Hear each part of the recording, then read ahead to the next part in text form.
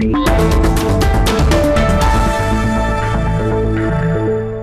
Добрый день, уважаемые телезрители. Сейчас время интервью. И сегодня у нас в гостях Константин Семенович Сиденко, директор Дальневосточного центра по обращению с радиоактивными отходами филиала Росрау государственной корпорации «Росатом». Константин Семенович, мы с вами встречаемся в преддверии Дня работника атомной промышленности. И мы поздравляем вас с этим праздником, а также поздравляем всех приморских атомщиков и тех, кто стоит на страже радиационной безопасности края. Константин Семенович, а вообще, а, почему возникла такая необходимость создания у нас в Приморье предприятия по обращению с радиоактивными отходами? Э, добрый день, спасибо за поздравления. Э, вы знаете, что раньше э, все эти радиоактивные отходы и закончившие свой жизненный цикл атомной подводной лодки, они принадлежали Министерству обороны, в частности, Тихоокеанскому флоту.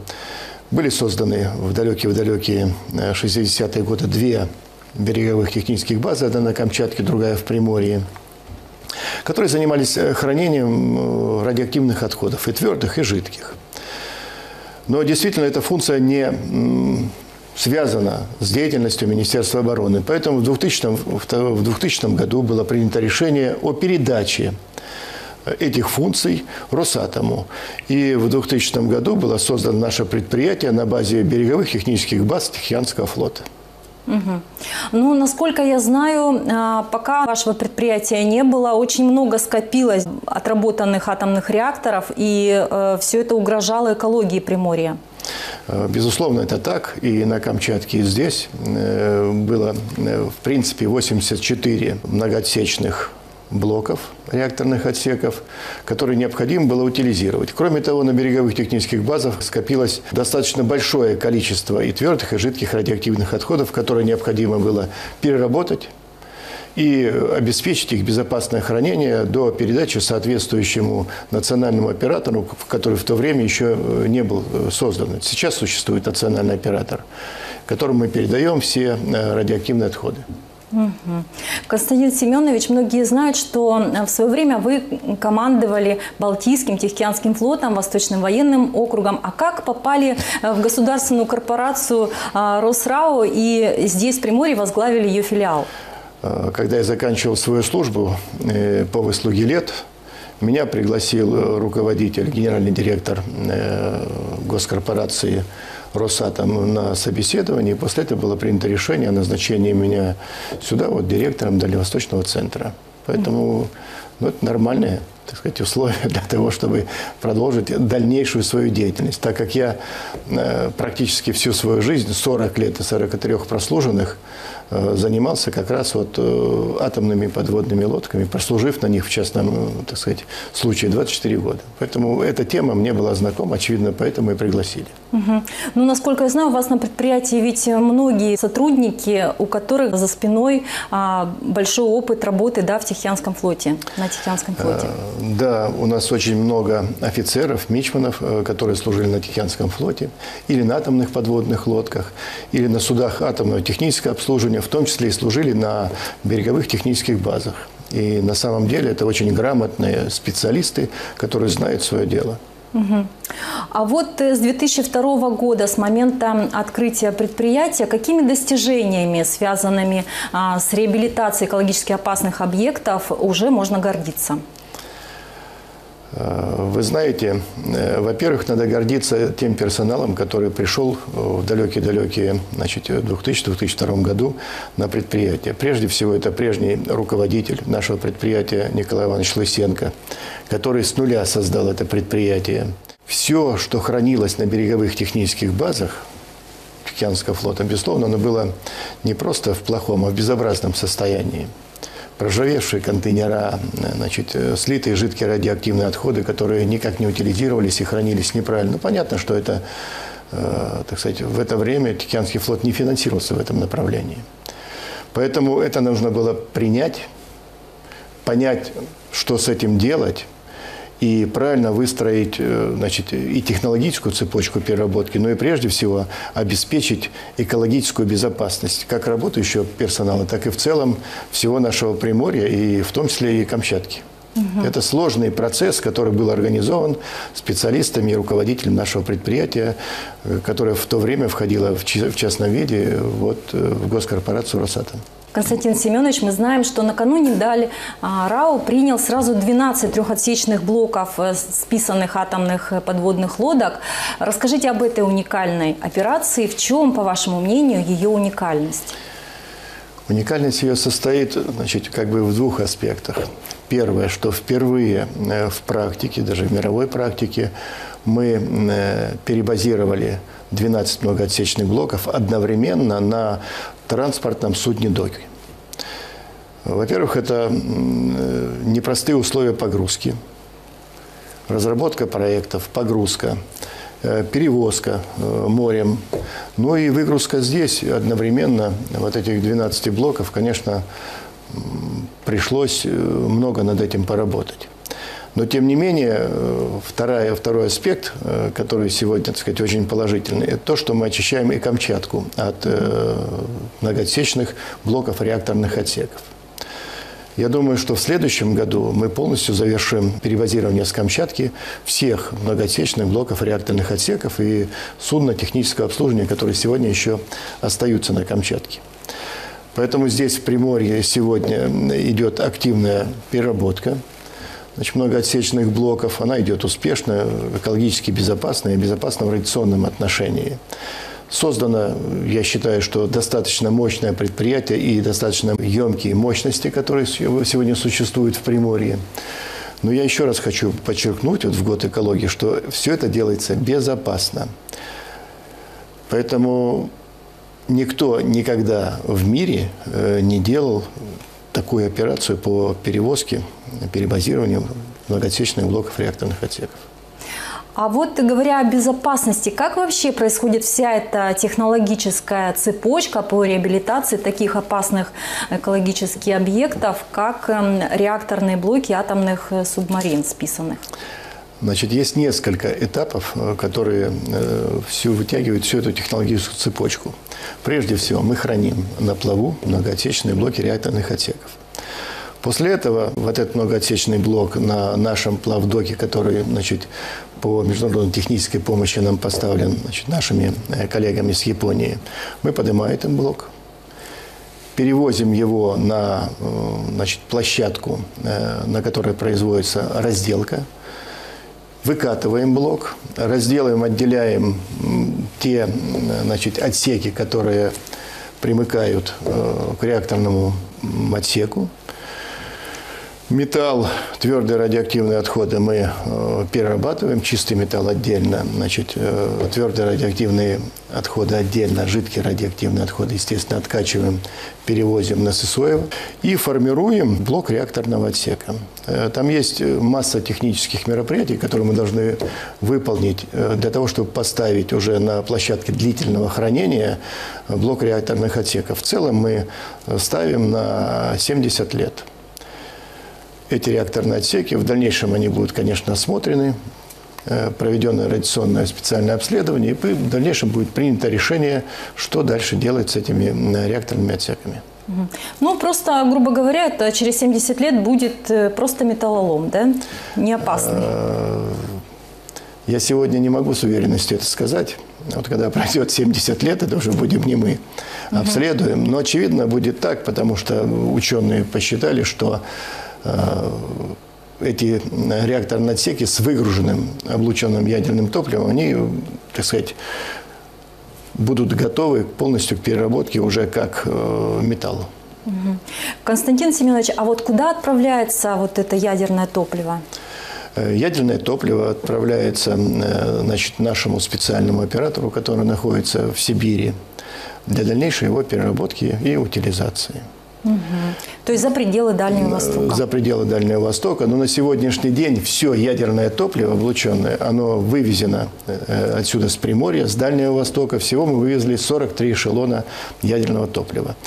И на этом, вот э, на сегодняшний момент, на сегодняшний день, э, вывоз этого ядерного топлива завершен. Вот в 2015 году мы завершили. В дальнейшем с выводом значит, подводных лодок Тихоокеанского флота из боевого состава Э, будет появляться, опять же, ядерное топливо облученное, ну, будет такая же э, технологическая цепочка по выгрузке и удалению его с Приморья. Храниться ядерное топливо, облученное в Приморье, не будет. Угу. То есть э, жители Приморья в этом плане могут спать спокойно? Э, сегодня жители вообще могут спать спокойно, потому что предприятия для того и существуют, чтобы они э, действительно спали спокойно и были уверены в своем будущем, что предприятия функционируют нормально, обеспечивая экологическую безопасность, радиационную безопасность. И я полностью уверен, что это именно так и будет. Константин Семенович, мы знаем, что на территории вашего центра есть также уникальное предприятие по очистке жидких радиоактивных отходов. И здесь справедливо было бы вспомнить ученых Деворан, которые создавали те самые высокоэффективные сорбенты, способные чистить воду с высоким содержанием цезия и стронция. Вот это на самом деле очень редкая ситуация, когда ученым удалось свое изобретение да, применить в таких промышленных масштабах. Как удалось наладить такое сотрудничество с учеными? Учеными? Э, были два сильных руководителя. Сергенко Валентин Иванович и Лысенко Николай Иванович. Э, Николай Иванович Лысенко – это э, вице-адмирал в отставке. Он был замкомандующим Тихоокеанским флотом по вооружению. Он сам специалист как раз по ядерным установкам. И вот эти два специалиста, которые решили эту проблему. Сначала была создана значит, экспериментальная установка «Барьер»,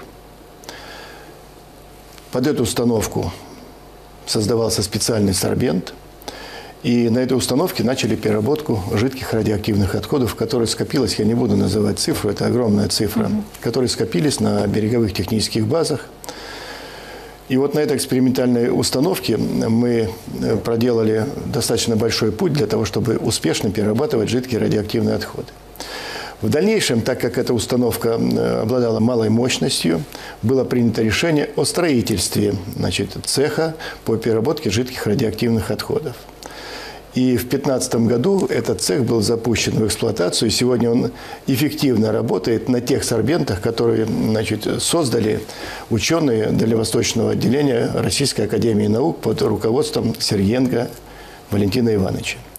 А, кроме того, э, на сегодняшний день совместно э, с Институтом химии мы проводим дальнейший эксперимент, вот он уже длится э, более года, по созданию нового сорбента для того, чтобы увеличить скорость потока жидких радиоактивных отходов разной солености – разной загрязненности.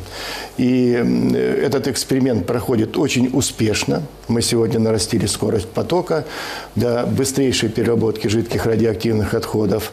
Ну и, очевидно, в следующем году мы сами запатентуем свой сорбен, который сегодня уже показывает очень высокий эффективный результат. Кроме того, этим сорбентом сегодня заинтересовались не только нашим, но и, очевидно, Э, нашим институтом химии, э, специалисты из Японии, у которых есть также проблемы по переработке жидких радиоактивных отходов. Поэтому я думаю, что э, не только на нашем предприятии они будут применены, но и, очевидно, это будет какой-то прорыв и в мировой практике вот с этим сорбентом. Думаю, что и с нашими японскими коллегами мы будем сотрудничать. Насколько я знаю, э, аналогов этому изобретению вот таким высокоэффективных сорбентов в мире еще нет. Я спрашивала Валентина Ивановича Сергенко, но а, казалось бы, все просто, сорбенты, да, почему японцы не могут придумать? На что Валентин Иванович ответил, что ну все гениально, просто вот хоть колесо возьмите. И да. тут вот э, насчет японцев тоже интересно, что они действительно проявляют э, большое внимание да, к радиационной безопасности у нас в Приморье и оказывают всяческую поддержку. А что это за поддержка и с чем действительно связано такое к нам внимание? Безусловно, это внимание, оно не только сегодня проявилось, оно проявилось еще при создании нашего предприятия. Мы получили по линии международной технической помощи из Японии, во-первых, док Сакура, который мы сейчас успешно работаем и поднимаем наши блоки. И э, буксир Сумере, который обеспечивает эти работы, и они работают очень эффективно. Но тут есть еще одна тонкость, что мы доработали этот э, плавдок «Сакура». Значит, наши инженеры разработали сегодня э, некоторые изменения конструкции, которые помогают нам уже приступить э, сразу после подъема значит, многотечного блока реакторного отсека к его уже подготовке к дальнейшей разделке. Поэтому здесь и есть успех и наших инженеров, нашего предприятия, которые вот это дело сделали. Это очень важно. То есть э, теперь док э, служит для многофункциональной да, да, разборки? для начальной переработки, для начальной обработки э, многотечных блоков реакторных отсеков. Поэтому мысль научная бьется и на предприятии, будем так говорить. Интересно. А я правильно вот думаю, что на вашем предприятии такого понятия, как кадровый голод, нет? И если это так, с чем это связано? Э, на сегодняшний день э, у нас кадровый голод по основным нашим специалистам, вообще по всем специалистам, в принципе, не существует.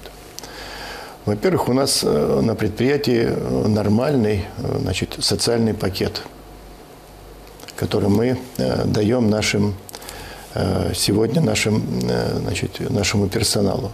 Во-вторых, значит, вот если сравнить, то в 2014 году, в 2014 году, это три года назад, средняя заработная э, плата на предприятии была 51 300 рублей. Сегодня средняя заработная плата 81 760 рублей. Для человека очень важно условия работы и значит, оплата его труда, потому что это его э, благосостояние. Поэтому я думаю, что э, это две причины, по которым мы сегодня не имеем кадрового голода. Ну и, безусловно, отношения на предприятии э, к нашему персоналу, к рабочим, они особые, потому что и рабочие работают в особых условиях. Они непростые и сложные, и в том числе и опасные. Поэтому вот этот комплекс вопросов, э, который мы обеспечим для наших э, рабочих, для наших работников, он и я думаю, что он привлекателен для тех, кто работает в нашем предприятии и кто стремится на него попасть. Константин Семенович, э, ваше предприятие постоянно растет, развивается. Вот расскажите о его ключевых э, проектах на сегодняшний день. На сегодняшний день у нас как бы два таких ключевых момента или две таких э, стратегических линии, по которым мы сегодня работаем. Во-первых, это э, сегодня, в 2020 году мы сдадим, это создание э, центра кондиционирования долговременного хранения. Что это значит? Во-первых, сейчас э, твердые радиоактивные отходы, которые мы контейнируем и после этого ставим в специализированное хранилище на длительное хранение и в дальнейшем передачу этого контейнеров национальному оператору. А будет протекать такая цепочка. Вот те контейнера, которые мы уже изготовили, поставили на длительное хранение, они в этом центре будут перерабатываться полностью. Там все виды, инновационные виды и очень современное оборудование, которое там будет стоять, э, которое, допустим, из большого куска э, твердых радиоактивных отходов будет э, делать небольшой, как шарик, твердый радиоактивный отход. Там есть и химическое сжигание, и паковка. То есть это наиболее эффективный метод значит, на сегодняшний день в дальнейшем контейнировании и отправки значит, национальному оператору вот этих огромных объемов, которые будут сокращены в десятки раз. Это первое. Во-вторых, вот это производство, которое сегодня строится, э, центр кондиционирования, оно экологически безопасно, потому что предусмотрены все виды защиты от э, радиационного загрязнения. Поэтому, э, создав вот этот центр кондиционирования, а он начнет функционировать, я надеюсь, в 2020 году, мы еще более обеспечим э, высокую степень экологической безопасности. Это важно э, для Приморья, это важно вообще для Дальнего Востока. Второе направление, которое сегодня, которым мы сегодня занимаемся, и вот при посещении генеральным директором Росатом э, Лихачевым Алексеем Евгеньевичем принято решение о расширении нашего производства. Что это значит? Первое – это строительство значит, 50-тысячного подъемного значит, такой платформы, на которой мы уже можем полностью ставить не только многоотсечные блоки, которые сегодня есть, а полностью атомную подводную лодку, судно. Угу. Вот все знают, что у нас в Приморье есть атомный крейсер э, Лазарев, по которому не принято решение на Тихоокеанском флоте, но в дальнейшем все равно он, очевидно, подлежит утилизации. Вот э, такое огромное судно, э, корабль, которого водоизмещение э, более 24 тысяч тонн, тоже будет ставиться на эту платформу, выкатываться на расширяющую на 30% нашу стапель палубу, и мы уже будем полностью, очевидно, завершать весь жизненный цикл того или иного судна или того или иного корабля или атомной подводной лодки. Это первое. Э, второе, это решение принято, сейчас идет проработка. Второе, разрешение э, и увеличение возможностей расширение нашего пункта временного хранения, где сейчас стоят у нас многоотсечные блоки, для того, чтобы мы уже э, сами принимали атомные подводные лодки или те иные суда атомного технического обслуживания, их хранили на плаву, потому что это немного отсечные блоки, а это корабль, судно, они mm. больших размеров. И в дальнейшем уже производили утилизацию. Это очень и очень, так сказать, важное дело – Третье направление. Э, как вы знаете, у нас была тяжелейшая авария в Чажме. Сегодня принято решение. Вы знаете, что на огромной-огромной территории значит, э, производилась очистка грунта, угу. других элементов, э, где было радиационное загрязнение. И мы у себя все это захоранивали в специальных траншейных хранилищах. Сегодня также принято решение о переработке этого грунта, и он будет экологически чистый. Те остатки этого грунта, которые все-таки будут загрязнены, они также будут контейнированы и в дальнейшем переработаны полностью на нашем центре кондиционирования. Поэтому э, сегодня перспектива предприятия есть. И мы э, надеемся, что это так и будет. Что это позволит Приморье, самое главное, значит, городу Фокина? Во-первых, это увеличение рабочих мест – оно достаточно большое, только в центре кондиционирования мы увеличиваем более чем на 100 человек. Угу. Это первое.